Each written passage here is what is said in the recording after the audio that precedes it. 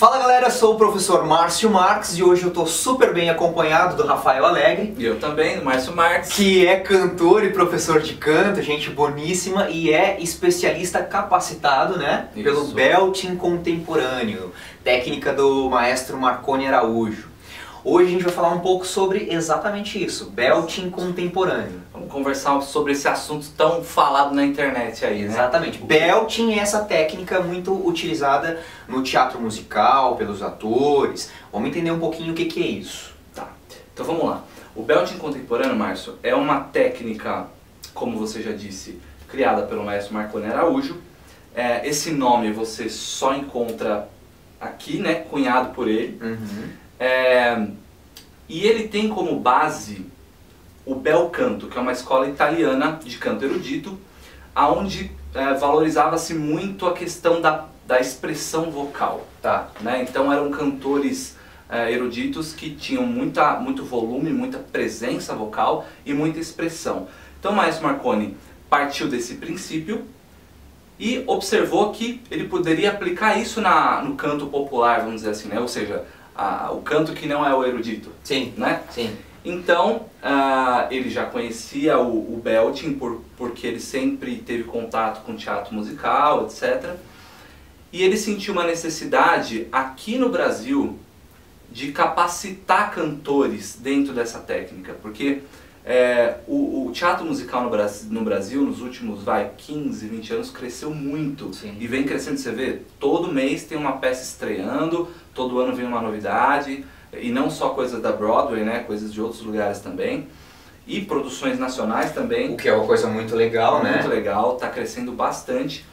É, mas, de um, há alguns anos atrás, não entendia-se ainda o que era o belting. Então, os cantores numa peça, cada um cantava de uma forma. Tá. E não tinha uma uniformidade. Hum. Então você via um cantor que fazia legal um belting, daqui a pouco o outro tinha uma técnica diferente e né, desequilibrava um pouco a peça. Tá.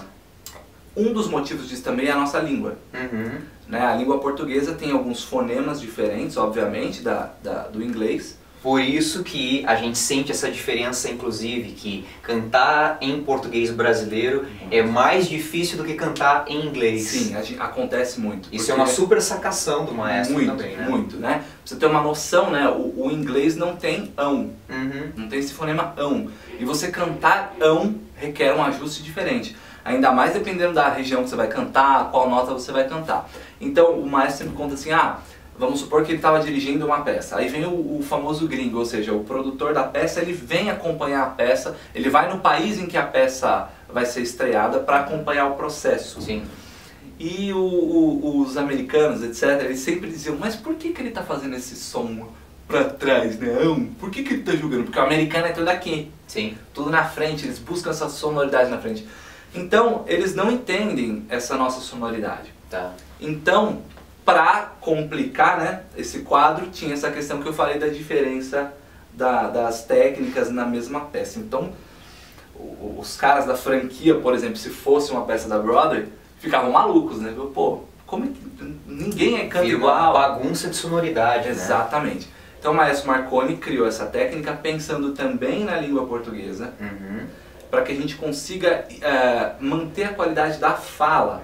Porque no teatro musical não é como numa ópera. Na ópera o, o, o ator está falando, de repente ele vai cantar, a voz muda completamente, né? Sim. Ele busca aquela voz mais eh, impostada, os, os antigos diziam. Sim. No teatro musical não, você tem que manter a qualidade da sua fala no canto. Exatamente. Isso é muito legal, porque Muito legal. se a personagem do espetáculo ela tem uma vozinha, mas aqui ela tem que continuar cantando Sim. com essa vozinha. Perfeito. Imagina uma formiga que tem uma vozinha assim, e de repente ela começa a cantar desse jeito. Não faz sentido nenhum. Não faz né? sentido Perde nenhum. um personagem.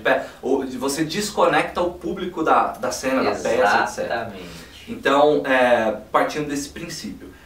É, então, o, o belting contemporâneo, obviamente, ele tem base no, no bel canto e tem como, como norte a fisiologia né, vocal, que é você aprender como o seu aparelho fonador funciona, para que você não, por exemplo, não se machuque ao cantar. Porque tem uma questão muito importante que o pessoal às vezes é, confunde. o belting ele tem um resultado sonoro potente, ou seja, quem ouve um cantor de belting vai dizer assim, nossa, mas que voz poderosa. Ele está gritando, alguns dizem, né? Uhum. Nossa, mas que voz, que volume alto. Isso não quer dizer que o cantor está fadigando a musculatura dele. Exatamente. Né? Existe, existem formas de você conseguir um resultado sonoro potente, ah, atendendo a estética que o, que o belting pede, sem você fadigar a sua musculatura. Uhum. Né? Então, o grande lance do belting contemporâneo é o máximo da capacidade da sua voz, de potência, de brilho e de expressão vocal, com o mínimo de esforço muscular. Legal.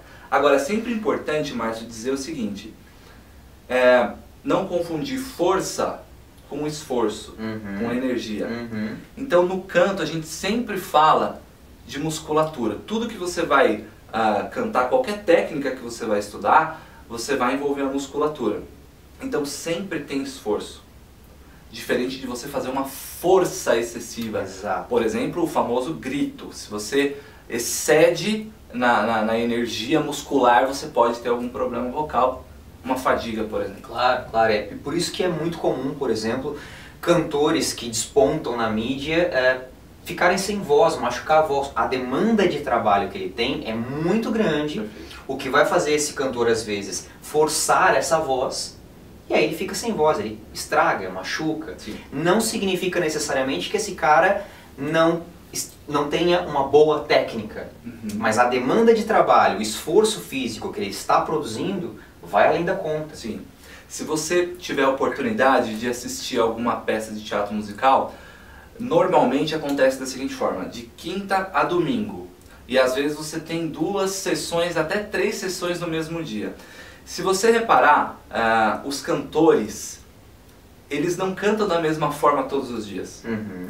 Algu- Em alguns dias eles se poupam, então você percebe que o volume está um pouquinho menos, a gente diz que ele está com pouca massa muscular para poder se poupar, para atender a demanda que ele precisa. Claro. Então o, o, o, cantor tem que utilizar da técnica de uma forma inteligente Uhum. para que ele garanta a durabilidade dele. É lógico. Né? Porque o, o, o- público que vai no domingo, ele quer ter o mesmo espetáculo de quem foi na quinta. Exato. Então não exato, pode perder a qualidade. Exato. E você, ah, dentro do belting contemporâneo, você consegue perceber que existem diferenças do belting americano, britânico? Sim, existe principalmente na questão sonora, estética, né? Tá. O belting americano, ele tem uma, uma, uma- a gente diz que ele, ele é trabalhado mais na parte da frente da voz, um som mais claro de repente, né? Tá. Pra você entender o que seria um som claro, é um som escuro, "Ah", né? Existe, a gente utiliza desses artifícios para diferenciar a sonoridade. Então, o belting americano, o maestro Marconi vai chamar no, no belting contemporâneo de pure belting, belting puro. Então, você busca um som. Um exemplo bem, bem Ah. simples aqui. O, o, o belting contemporâneo ele vai trabalhar de uma forma um pouco mais equilibrada, porque o italiano trabalhava isso eh, dizendo que ele tem que equilibrar o chiaro oscuro, tem um equilíbrio entre os ressonadores, o Uhum. filtro, etc. Uhum. Entre o escuro da voz e o claro da voz. Então ficaria mais ou menos. "Oh, e". Então você tem um som trabalhado no fundo da boca, mas também tem um pouco na parte anterior da, da, da voz, trazendo um pouco mais de brilho para a voz. Que é mais próximo do português brasileiro. Exatamente. Né? Então se você tá falando aqui, para você cantar aqui falando ão, fica uma coisa difícil. E espreme um pouco a Espreme. laringe, levanta demais a laringe. Perfeito. Então, se você, por exemplo, pega um Barry Tenor, né, que é a mistura entre barítono e tenor, e ele chega na região da de uma das passagens da voz dele, é, que é uma região difícil, e se ele tá cantando aqui, ele tem que fazer, por exemplo, um ão, Uhum. e ele se apertar, ele vai ter alguma, provavelmente vai ter alguma dificuldade ali Claro, para fazer. claro. Então a gente tem que adaptar, fazer os ajustes musculares para a gente conseguir chegar na sonoridade que, Legal. na- no resultado, né? Então você percebe que a principal diferença é justamente ter mais claro da voz no belting americano Sim, sim. do que o Isso. brasileiro, o contemporâneo. Exato. Uma, uma, uma forma clara de você entender isso é a própria fala Uhum, do americano e do brasileiro, né? Uhum. A gente fala mais assim, lógico. né? E ainda se você vai, por exemplo, pro sul, né? Fala Mais mais, escuro ainda, né? Exato. O americano já fala mais aqui, né? É. Tem uma personagem incrível pra você entender isso, que é aquela do, do Friends. Uhum. Ah, oh my god! Ela É. faz uma. E americano normalmente fala assim, né? Então, como eu disse que o belting no teatro musical ele parte da fala, o americano ele, já, ele simplesmente canta. Exatamente. Por isso que é tão mais fácil você cantar algumas coisas em inglês do que cantar em português. Sim, perfeito. Né? Cantar em português, re- realmente, português brasileiro, realmente é mais difícil, exatamente pelo que o Rafael falou. Nós temos alguns fonemas que nós não encontramos em outras línguas. E colocar isso em prática, e principalmente na região aguda da voz, é complicadíssimo. Agora eu quero te perguntar uma coisa. É, qualquer pessoa consegue desenvolver o belting contemporâneo na voz? Perfeito. Qualquer pessoa que tenha a sua saúde em dia, né, que não tenha, por exemplo, nenhuma patologia, etc., que esteja algum tratamento, perfeitamente. Né? O belting é uma técnica como qualquer outra e que requer muito estudo, como qualquer outra, né? Não adianta você falar, ah, vou estudar belting, aí faz uma, duas aulas e acha que já vai sair cantando belting. Exato. Como qualquer aula de Como- canto. né? Exatamente. Não adianta você fazer um vocalista que você viu no canal do Márcio Marques e achar que você vai cantar uma ópera. profissional, né? Não vai, desculpa. O Márcio Marques é legalzinho, mas não é milagreiro. Imagina, me Tem ajudou muito. Os canais, o canal dele me ajudou muito. Tem que estudar, tem que. Fazer exercício, tem que fazer aula, tem que praticar em casa e com isso o condicionamento vai acontecendo. Sim.